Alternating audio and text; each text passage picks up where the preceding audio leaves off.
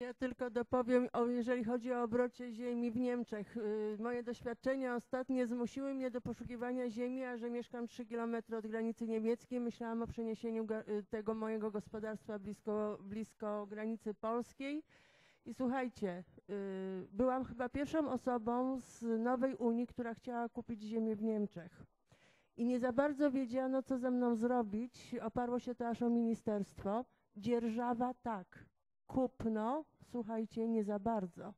Więc niech nam to coś da do myślenia.